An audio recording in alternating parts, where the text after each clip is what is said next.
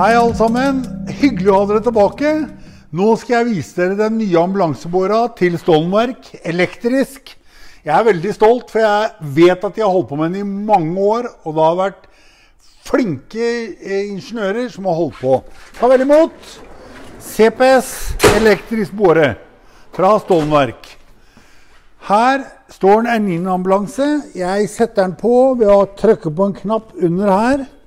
Da lyser det i displayet her 300, 236 dager av 365.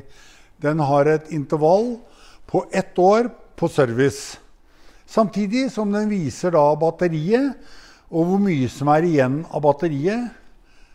Selvsagt lades båren i, eh, i bilen så lenge den er der. Jeg har nå tatt med meg vakuummadrass bare for å illustrere hvorledes en elektrisk oppvarma eh, vakuummadrass vil kunne se ut. Dette er Luftambulansen sin utgave, som er laga som en prototyp. Jeg skal ikke bruke tid på den nå, for den er i en annen eh, film. Da skal jeg få lov til å nyte og fortelle dere om denne nye, flotte båra. Jeg har en knapp håndtak under her og har en pluss- og minusknapp som jeg kjører båren ut og inn. Som dere ser, så går den ganske kjapt ned. Det tennes et grønt lys her. Det indikerer bilen som den står i. At den er tilpasset den bilen. Den kan gjerne gå høyere opp, da lyser rødt. Og den kan gå lenger ned. Nå tar jeg båra ut og viser da veldig greit eh, de lysa her. Nå er det det røde som indikerer at nå er vi over bilhøyda. Jeg kan kjøre ned, og etter hvert vil denne slokke. Her på disse lysa så har jeg da mulighet til å putte på blålys. Og i dag med de nye uh, reguleringene eller innsparingene fra kommunene, hvor de skal ikke ha lys på veinettet, så kommer dere til å være mer eksponert ute. Da har dere muligheten til å sette på et godt varslingslys ute i trafikken. I tillegg så kan jeg også lage et, eh, jeg et arbeidslys. Et veldig godt arbeidslys, som dere vil se her. Sånn. Som dere ser at her kommer arbeidslyset på, både på sida og foran. Den har to styrker. Det som er kanskje også det virkelige kuppet med denne båren, det er Jeg har jo muligheten til å lage den til en stol. Sånn. Og da ser dere båren har en lengde, total lengde på 1,25. Og det er veldig stille. I tillegg så har jeg muligheten til å åpne opp her, sånn at jeg kan trille båra eh, med alle hjula i sving. Og det er bare hvordan jeg velger å gjøre det. Båra har også eh, Stoltenberg sine nye godt etablerte belter, som også har blitt testa godt ut. Dette er med en Cobra-belteholder, som eh, er veldig grei å åpne når dere skal ha til pasientene. Det er samme som er på denne som er her. Så vil dere også se at jeg kan legge den opp for en person som skal sitte på båra. Så kan det være veldig enkelt å bare heve den et hakk opp. Nå, slik kan, båra, kan personen og pasienten sitte i bilen. Og tenk så mye bedre for alle disse som vi har til som i, som har pusteproblemer, hjerteproblemer, som nå kan få sitte behagelig i båra. Det er også sånn, Her kan jeg ta i forhold til eh, tykkere pasienter, slik at jeg har god eh, rom til det på begge sider. Så kan vi bare ta ned sidevangen. Denne båra har på lik linje med det danskene har gjort, vi har valgt å legge inn med oppvarming, eller elvarme, i, eh, i sete og i rygg. Det har jo vært nå en eh, rapport som synliggjør at pasienter som kjøres i ambulansen, til og med fra sykehjemmet til sykehuset, har en dropp på temperatur som er ganske mye. Og eh, Den kan dere finne, og den skal dere, bør finne og søke opp. Eh, her vil vi kunne ta og bare sette på varmen. Da begynner det å varme i rygg og sete til 40 grader. Den står på i 45 minutter, og da slår den seg automatisk for at vi skal slippe å tenke hvis vi, Eller ikke slippe å tenke på, men hvis du skulle glemme oppi alt det du holder på med, å slå den av, så ikke det skal bli noe brannproblematikker. Samtidig så da må jeg gå inn og så må jeg styre den. Og da kan jeg styre den til 36 grader eller 32 grader. Og batteriet det følger med to batterier som bare er til å ta ut og inn her. Veldig enkelt, som dere ser, og bare putte rett i en lader. Så dette er en veldig bra ting. I tillegg så har vi jo nå i Norge fått eh, korpuls. Og flere har det, og flere skal ha det. Da er det ferdig eh, systemer for å montere på overvåkningsenheten til Korpuls, som er veldig flott laga til. Og dette er testa på 10 og 20 G på alle de forskjellige festene. I tillegg så kan jeg, for å slippe å bære utstyret, fins det hemper som vi kan sette dette på helt enkelt. Og da vil denne sitte her, og så vil Skal jeg bare sette den ordentlig på. Sånn. Sånn, så sitter den der. Og samme kan jeg sette på det originale festet, som jo er testa for 10G, så det kan sitte i bilen under transport. Men dette er gode ting. Stollenberg har laga sitt eget feste, som da alle de store, Soll, eh, Weinmann, bruker på sitt utstyr. Og Dreger.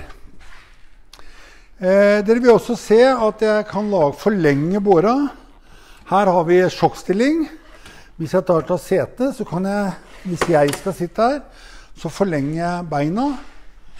Og jeg kan enkelt også forlenge hodeenden, slik at pasienten blir liggende godt på denne vakuumputa.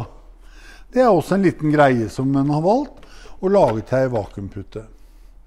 Båra er også sånn laga at eh, vanligvis har disse Stoltenberg-bårene hatt sin avtakbare topp. Det har Stoltenberg valgt å fortsette med.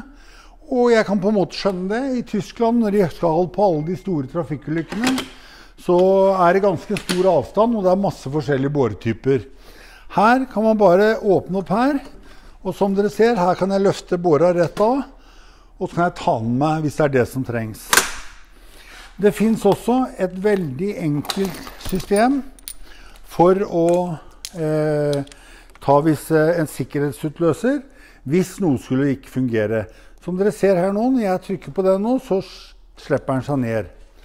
Dette eh, sammen med båre, eller batteri og alt som er, har faktisk gjort båra til en helt ny, nytt arbeidsredskap med masse finesser som dere kommer til å ha glede av i hverdagen deres. Det er også sånn at vi har et mor og barn-belte. Eh, Stoltenberg hadde sitt eh, tidligere belte som var laget for at mor skulle kunne ligge under på båra og ha med seg barnet sitt. Her er det nå laget et nytt belte til denne båra som er enda enklere enn det forrige systemet. Her ligger mor i utgangspunktet. Og så her, Dette er jo et standard beltesystem for barn. Dette barnebeltet kan brukes fra 3 kg og opp til 32 kg. Og det vil si at de barna som vi i dag har litt problemer med å få satt ordentlig fast i voksenbeltene, også enkelt vil kunne settes fast i dette beltet. Det her er veldig enkelt å sette på. Her er det ferdig system hvis man velger å ha dette beltesystemet, hvor bare kobrabeltet festes i her. Og denne festes i den samme, et system her bak her. Og så ligger babyen, eller barnet, godt sikra. Og alt dette er 1789-testa. Det er nesten sånn at jeg noen ganger tenker at Og ikke nok med det. Men i bårene så er det også eh, laget et system for det er jo etter hvert blitt masse forskjellige tilleggsutrustninger som vi bruker på bårene. Det er Epigard når vi skal hente alle de store smittesystemene. Det er eh, barnekuvøser, og de er jo nå kommet i mange varianter.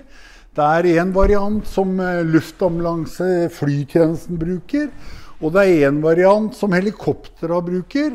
Og det er én variant som sykehusene bruker i forskjellige. Viken f.eks. har et Hissen-system som er en båre med dregerkvøse oppå. Alle disse bårene Dette er et standard europeisk feste, og her har vi laget et enkelt system som festes i to fester her sånn. Dere vil se det her, her sånn, så den skulle sitte rett nedpå.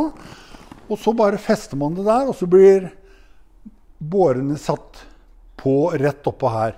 Og da kan dere tenke dere Nå lar jeg den bare for enkelhets skyld ligge oppå. Men dere kan tenke dere når jeg kjører, har et fly, og pasienten min skal inn i et fly, og jeg har ei flybåre, så kan jeg faktisk kjøre båra mi enda høyere opp. Og hvis dere tenker dere nå at plattformen til flybåra står oppå her, eller kuvøsa som skal inn i flyet, så har vi plutselig øka høyden for å få forflytta dette inn i flydøra. Og det gjør det mye enklere i mange deler av landet hvor de har masse kjøring med, til fly. Så eh, nok en gang Stoltenberg gjør eh, bra ting.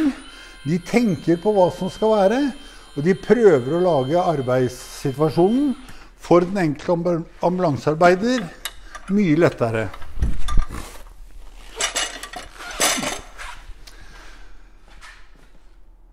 Så er det også sånn at jeg kan også låse eh, hjula her.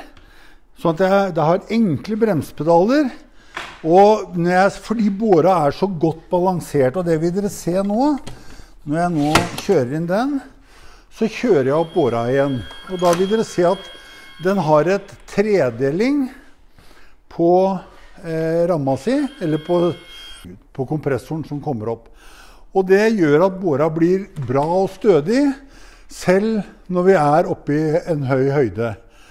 Den er også sånn at den blir jo veldig godt eh, avbalansert.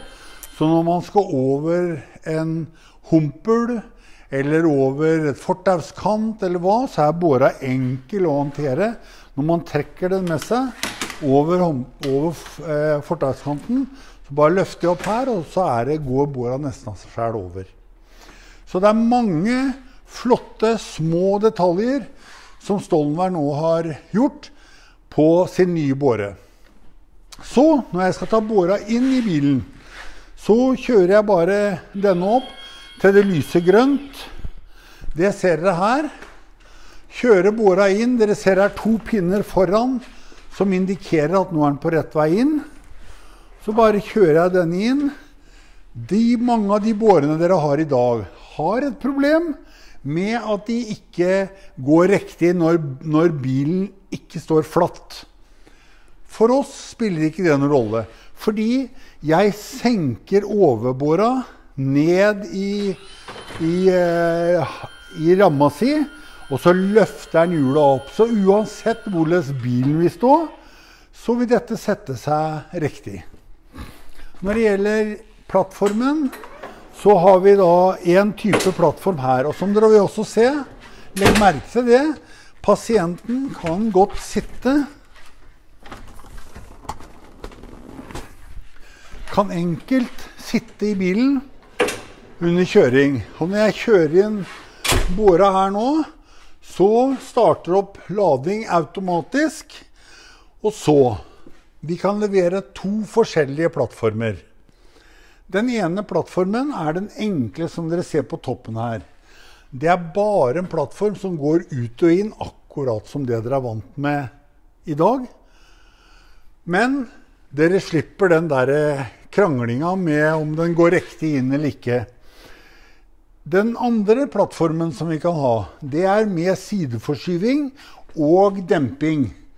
Så hvis jeg Nå har jeg ikke jeg kobla dette på nå, men jeg, når jeg kjører inn båra, så løfter den dempinga seg opp. Fordi de nye bilene deres de har ikke demping. De har ikke luftfjæring sånn som de hadde før. I dag går det bare på bladfjærene. Og det vil denne plattformen ta eh, høyde for. Selvsagt har det en vekt, og det er et system i bilen som skal fungere. Men eh, til i dag Jeg var i Danmark, og der sier dansene det må dere beholde. Det er viktig. Det er godt for pasientene å ha den dempinga. Det merker vi hver dag. Så ta vel imot. Be om å få testa ut, og ring oss gjerne på, hos Emergency Care, eller gå inn på emergencycare.no og se på filmer, informasjoner om den nye båra. Takk.